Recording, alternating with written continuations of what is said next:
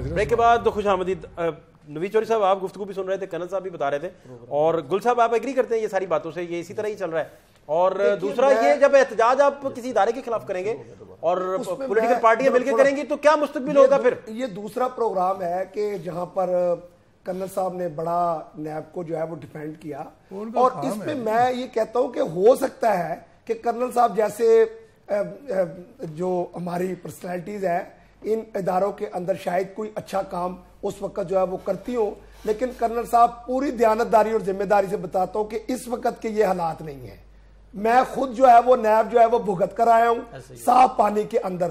جو جو سوالات جو وہ ہمیں کرتے ہیں یا جو سوالات لکھ کر دیتے ہیں وہ کوئی ہمارے کنسرن سوال نہیں ہوتا کہ آپ کمپنی میں کیسے آئے کیوں آئے آپ کو کیوں رکھا گیا مطلب اس طرح کی ساری چیزیں جو ہیں، اور بہت ساری چیزیں جو ہیں۔ اور پورا شور میڈیا کے اوپر یہ چل رہا ہوتا ہے کہ شاید ہم دنیا کے کتنے بڑے کرپٹ ہیں کہ جن کو نیب نے جو ہے وہ بلایا ہوا ہے۔ اور ابھی یہ شباز شریف صاحب کا کیس ابھی آپ فرما رہے تھے ہائی کورٹ کا۔ ہائی کورٹ نے یہ تو آرڈر نہیں کیے کہ جناب یہ جو کانٹیکٹ جو اگلا ہوا ہے، وہ غلط ہوا ہے اور وہ اس کو ہی جو ہے وہ کینسل کر کے اسی کانٹیکٹ کو اس کے لطیف کے کانٹیکٹ کو جو ہے وہ بحال کیا جائے۔ ہائی کورٹ نے یہ نہیں کہا لطیف اینڈ سنس کو بحال کریں۔ جی۔ ٹھیک ہے۔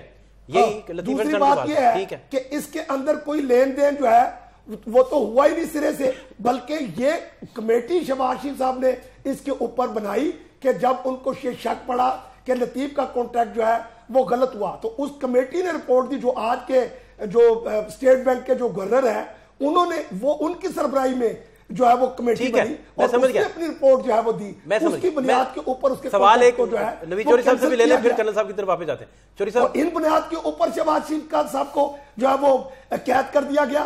حالانکہ اس سے بہت بڑی بنیاد والے لوگ جو ہیں اب میں کیا نام لوں؟ بار بار ان کے نام لینے سے جو ہے وہ گل صاحب آپ کے پاس پکڑ نہیں لینا۔ اور ہمیں چھوڑ نہیں دینا۔ مصیبت یہ ہے اس وجہ سے کرنل صاحب یہ متنازع ہوتا جا رہا ادارہ۔ خدا کے لیے یہ سمجھے اس بات کو۔ جی کرنل صاحب نوی چاہت آپ کچھ پوچھنا چاہ رہے ہیں کرنل صاحب سے؟ اور جو گفتگو کرنل صاحب نے کی آپ چوری صاحب ایگری کرتے ہیں؟ نہیں میں سمجھتا ہوں کہ کرنل صاحب نے جو باتیں کہی ہیں وہ وہ خود ہی اس کے تضادات نظر آ رہے تھے ان کی گفتگو میں۔ جی۔ کہ جی وہ دیکھتے ہیں کہ جی کس انویسٹیگیشن کے لیے گرفتار کرنا ہے کون سے نہیں کرنا۔ جو ابھی تک رول رہا ہے نیب کا، جب سے پرویز مشرف نے اس کی، اس نئی فارمیشن لئی اور ابھی تک، آپ اٹھا کے دیکھ لیں، پری بار گیننگ کے علاوہ کیا گین کیا ہے انہوں نے؟ کچھ بھی نہیں۔ لوگوں کو رسوائی بہت ملی ہے، بہت سے لوگ اس میں بدنام ہوئے، بعد میں وہ کلیئر بھی ہو گئے۔ تو میں سمجھتا ہوں کہ ان کو اپنی پروسیکیوشن اور اپنی سب چیزوں کے اندر ریسرچ کرنے کی ضرورت ہے اور ایک متوازی طریقہ لینے کی ضرورت ہے۔ غیر، یہ نہیں ہے کہ دیکھنا کہ جی یہ یوسر رضا گلانی ہے تو اس کو چھوڑ دو اس کی کوئی ضرورت نہیں ہے خود ہی آ جائے گا۔ یہ تھوڑا تگڑا ہے تو اس کو اصل میں عام ٹوسٹنگ جو ہو رہی ہے اس کا بینیفٹ دیکھیں یہ بائی الیکشن آیا ہے۔ بائی الیکشن سے پہلے ان کی گرفتاری کا امپیکٹ نیچرلی پڑے گا بائی الیکشن سیاسی ہو جائے گا معاملہ۔ کیونکہ وہ سیاسی لوگ دیکھتے ہیں۔ مجھے بتائیے میری بات سن لیجیے میں اس کے بعد آپ تو اس ادارے کو نہیں انہوں نے نہیں بنایا انہوں نے نہیں بنایا آپ کی آپ کی آپ کو آپ کو سعدیہ صاحبہ کریکٹ کر دوں آپ کو نہیں پتا کہ انہوں نے بنایا پرویز مشرف نے بنایا یہ ادارہ۔ آپ لوگوں نے جب آپ کو گورنمنٹس ملی تو آپ نے اس ادارے کے لیے کیا کیا اس کی بہتری کے لیے؟ آپ کو جتنی شکایات ہیں آپ پانچ سال رہے ہیں نا اسمبلی میں تو آپ کو یہ نہیں پتا کہ ہم نے کیا کیا ہے۔ اگر آپ کو یہ نہیں پتا تو میں آپ سے بحث نہیں کر سکتا۔ ہم نے بہت کچھ کیا اس کے لیے۔ ٹھیک ہے۔ اگر آج کر دیا نیب کا دارہ آج اگر کچھ ادارے کے اندر کچھ نظر آتی ہے کچھ شکل تو وہ انہی جمہوری قوتوں نے جب آگے اس میں امینڈمنٹ لے کے آئے اور ان میں چیزیں لائے اپوائنٹمنٹ آف نیب چیئرمین اور یہ سب چیزیں اسی کا حصہ ہے ورنہ اس سے پہلے تو صرف یہ پک اینڈ چوز ہوتا تھا۔ بالکل صحیح۔ کل صاحب کیا رسپونڈ کریں گے؟ بابر روان بھی پہلے ان کا ہی تھا۔ جی ٹھیک ہے جی ٹھیک ہے۔ وہ آپ کا کیسے ہو گیا؟ یہ بدل چیزیں بدلتی ہوئی جو ہے وہ کچھ دیر نہیں لگتی اس ملک میں۔ جی جی کل صاحب رسپونڈ کیجیے جی پہلی بات تو یہ ہے کہ نیب کا جو قانون ہے اس کے اندر دو ہزار دو کے بعد کوئی امینڈمنٹ نہیں آئی۔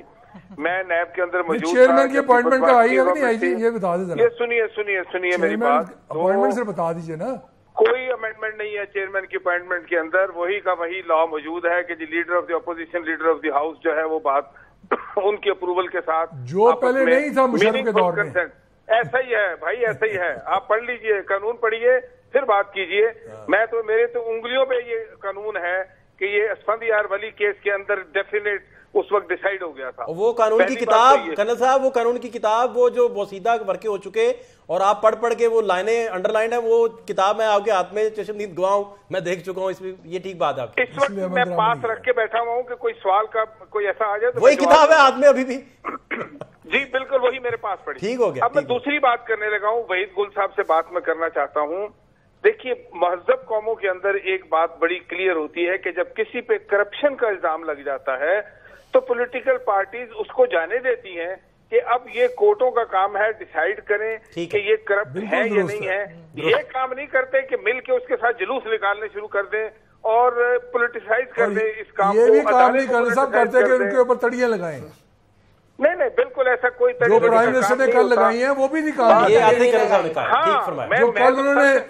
کیا ہے کہ میرا ہوتا تھا پچاس بندے اندر ہوتے۔ وحید گل صاحب میں نے سب سے پہلی بات ہی یہ کی ہے کہ یہ دونوں کام نہیں ہونے چاہیے۔ گورنمنٹ کو بھی یہ نہیں ایڈوانٹیج لینا چاہیے کہ شاید ان کی وجہ سے ہو رہا ہے۔ نہیں نیا تو یہ کام بھائی اس گورنمنٹ کے آنے سے پہلے سے کر رہی ہے۔ اور بلکہ بڑی نون لیگ کی گورنمنٹ کے ہوتے ہوئے یہ کام شروع ہوا تھا۔ اور انہی کے دور حکومت میں جب یہ خود شہباز شریف صاحب تھے، تو ان کو بلایا بھی گیا اور ان کو اس طریقے سے ان کیسز کے اندر بات چیت بھی کی گئی ہے۔